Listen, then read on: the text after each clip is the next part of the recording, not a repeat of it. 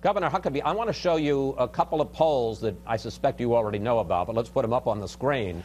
Uh, 70% of Iowa Republicans view you favorably. That is more than any of the other mentioned likely presidential possibilities for 2012.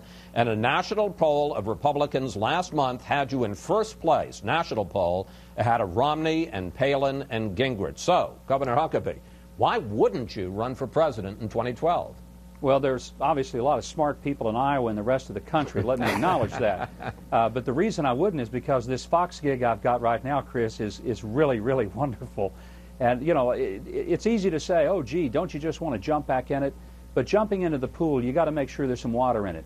And uh, there's a whole different deal of saying uh, some folks take a poll and whether there's the financial support. Howard and I have both been there, done that. Uh, it's a wonderful experience. Uh, but I am nowhere near ready to say that that's what I want to do uh, three years from now. So, so let me ask you a silly question uh, three years out. What do you, would you say at this moment are the chances that you will run? 50 50, better, worse, what?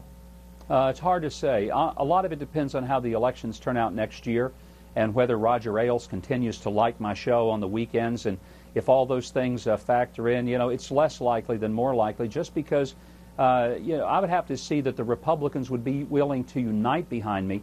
The last time out, my biggest challenge with, was with the establishment Republicans who just never showed their support.